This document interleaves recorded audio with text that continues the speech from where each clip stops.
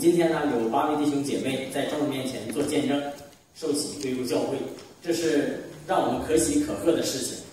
那每一次我们在在洗礼的时候呢，我们在这种特殊的主日中啊，我们一方面呢是看到众弟兄姐妹他们的见证，看到神在他们身上所做的功；一方面呢，我们要重新去检视我们自己的信仰，让我们思考我们在最起初跟神相遇的日子。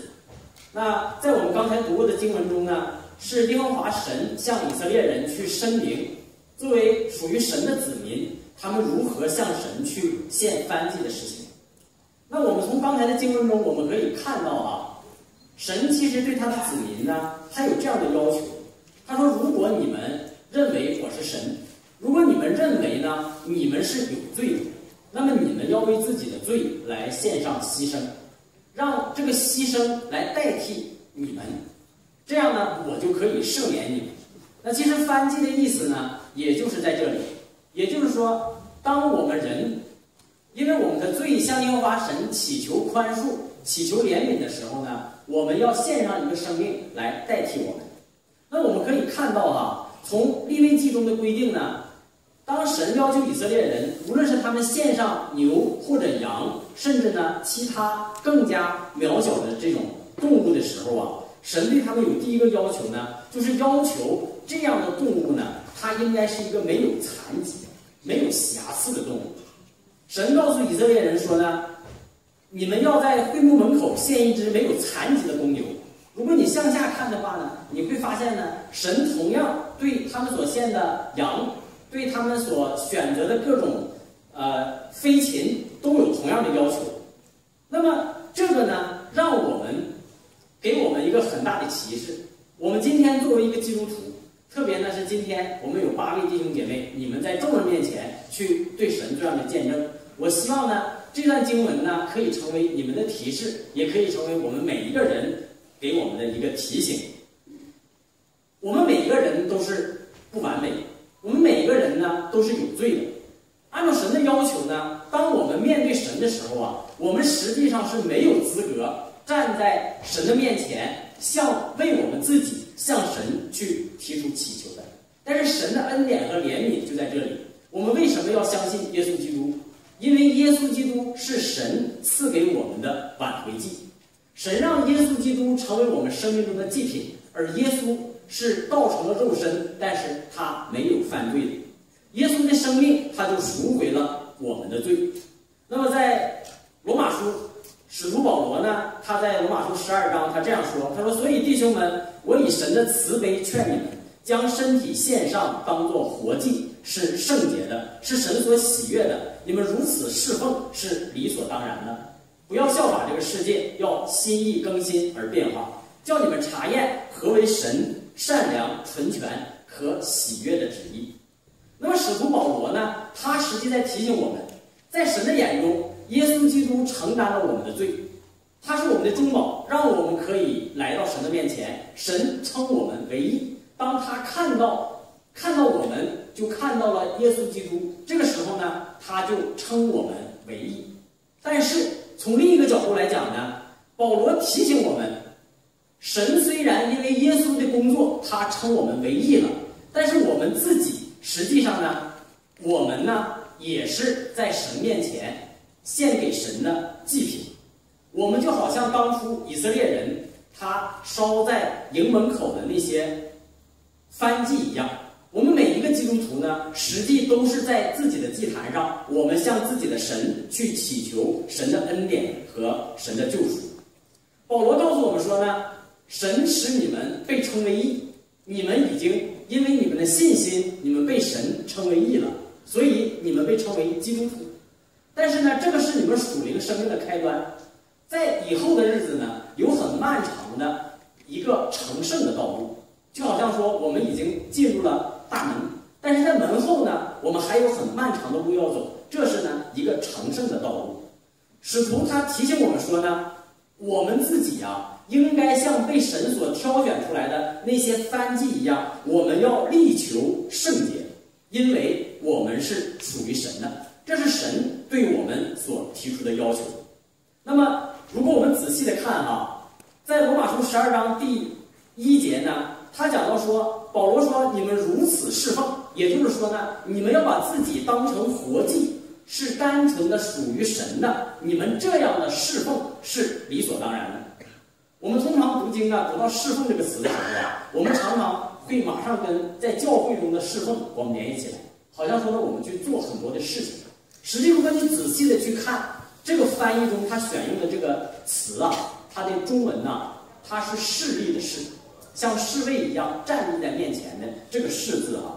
那么实际上他在讲呢，并不是说我们作为基督徒，我们在基督徒的群体。在教会里边，我们做了一些什么事情，我们来为神去做工，它不是这个意思，而是说呢，任何一个基督徒，我们伺候神，或者说呢，我们站立在神面前的时候，我们应该呢，像献给神的祭物一样，我们是属于神的，我们是圣洁的。只有这样的时候呢，我们才会蒙神喜悦。所以。我们今天在公开的做见证的这些弟兄姐妹们，我们每一个基督徒，我们应该知道我们自己的身份。神称我们为义，我们是属于神的人，在神的眼中，我们是被称义的人。但是呢，我们从自己的生命来讲，我们依然有瑕疵，我们并不是圣洁无瑕疵，我们是有残疾。神要求我们呢，虽然耶稣代替了你们的。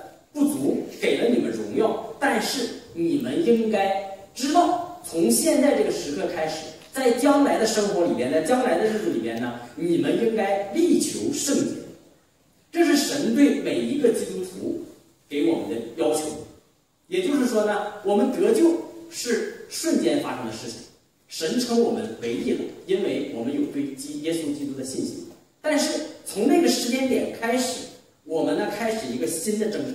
我们走在一个成圣的道路上，这个旅程呢是要我们自己去努力的。我们要力求圣洁，就好像是被陷在营门口的那个番妓一样。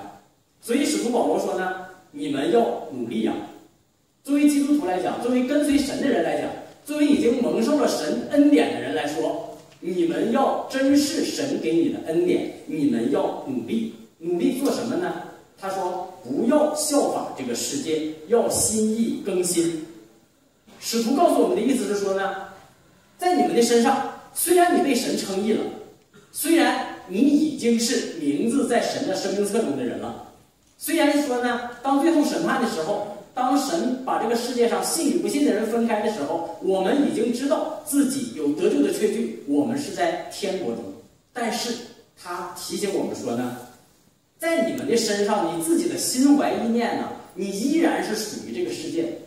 我想，我们作为基督徒呢，我们没有人能否认这一点。我们今天举手，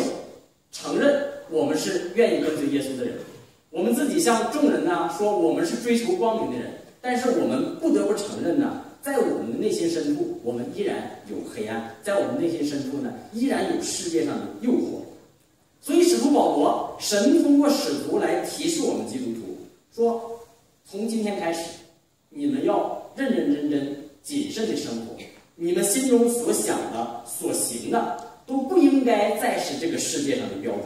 你们原来的想法、你们原来的行为、你的人生观、世界观、价值观，从这个时刻开始，你们要逐渐、逐渐的发生变化。以什么为标准呢？你们要以神的心思为标准。我们要查验什么是神善良、纯全和喜悦的旨意。也就是说呢，在圣经中所说的，你们要以基督耶稣的心为心。神对我们每一个基督徒他所发出的一个呼召，这是他给我们的一个命令，也是我们对他给我们这样恩典的一个回应。神需要我们逐步的去养成这样的一种生命特征。让我们在这个世界上，当世界上的众人他看到我们的时候，就像我们今天这几位弟兄姐妹他们所公开所见证的那样，在过去我不认识神，现在我认识了这位神。在过去我是为自己而活，但是现在我知道，在我的生命里边有更宽广的事情。在过去的时候呢，我知道我人生的目标、理想，所有的奋斗都是为了这个世界上的生活。但是到今天开始。我知道呢，我在天国有永恒的盼望。我们在日常的生活里边，我们不但是用语言，而是要用行为，让我们自己的生命，让我们身边的人去看到，原来这就是一个属于神的人的生命。我们这样的决心呢，就好像是被放在祭坛上的祭品，在立位记中，除了讲到这个牺牲啊要毫无残疾之外呢，你会发现神要求祭司们，当他们把这样的一个牲畜、这样的一个祭品去献给神的时候呢，他有一个举动啊，就是把这个动物所有的一切呀，要把一切都烧在坛上，毫无保留。不论是它的血、它的皮、它的所有的内脏、所有的脂油、所有的这些呢，都要求去完全的去献给神。神管这个呢叫做馨香的火祭。那么这个对我们来讲呢，实际是说呢，当我们承认耶稣基督是我们的救主，我们也承认耶稣基督是我们生命的主宰。什么叫做我们生命的主宰呢？我们愿意像那个牺牲一样。把我们生命中的全部，我们完全的，我们放在神的手中，我们一切呢，都愿意让他来掌管，我们完全的属于他。今天接受洗礼的弟兄姐妹们，我们每一个基督徒，我们很感恩神在我们的生命里面让我们去认识他，神在我们的生命中给我们信心，给我们能力，让我们可以去追随他。在我们的生命中，道路怎样去选择，这是摆在我们面前的事情。神从来不强迫我们，神把道路放在我们面前，选择权在我们。那么，我们要承担相应的后果。弟兄姐妹们，特别是今天八位弟兄姐妹，我希望你们可以去谨慎的选择你们生命的方向。我们每一个人也要谨慎的选择我们生命的方向，我们生命的道路。如果你选择了永生的盼望，你选择了这个与神同行的盼望，那么呢，我们就别无选择，我们就应该坚定不移的走这样的路。这意味着呢，可能我们会逐渐的抛弃这个世界。当我们做这样选择的时候呢，就像摆在营门口的这个牺牲一样，可能在我们的生命里边会有很多的痛苦，甚至说呢，属于这个世界或者属于魔鬼的势力会给我们很多的挑战，会给我们很多的诱惑，很多的拦阻。但是弟兄姐妹们，我要劝你们，这是一个正确的选择，这是一个聪明的选择，因为神通过圣灵给了我们属天的智慧，打开了我们属天的眼睛，让我们看到了这个世界，让我们看到我们属灵生命的本质，这就是神给我们的恩典。所以弟兄姐妹们，当我们去看到别人的洗礼，当我们去思想。我们在过去的日子，我们曾经在神面前，我们向他所许的愿，我们要怎样去过自己的生活呢？我们怎么样去度过我们的生命呢？希望我们每一个人的生命都可以去为主发光。当我们有一天去再见到耶稣基督的时候，他可以夸奖我们，他不但夸奖我们是真正的侍立在他面前忠心的仆人，我们也可以呢被他称为。真的是馨香的祭，愿神能祝福我们，特别的愿神祝福你们每一个人。让我们一同来祷告。天父上帝，我们感谢你的恩典，你让我们看到这八位弟兄姐妹他们的信心，让我们看到他们在众人面前为你所做的见证。天父，你的圣灵就带领我们，让我们知道我们的生命是多么的美好，你给我们的恩典是何其的宝贵。天父就愿你的能力在我们众人中彰显出来，让我们可以把这样做见证的心，我们可以永远的我们保持下去。让我们在这个世界上，我们可以做你馨香的祭，我们可以为你做美好的见证，我们打美好的仗。天父愿你的恩典，就因为我们这样的信心和我们这样的决心，你就倾倒在我们身上。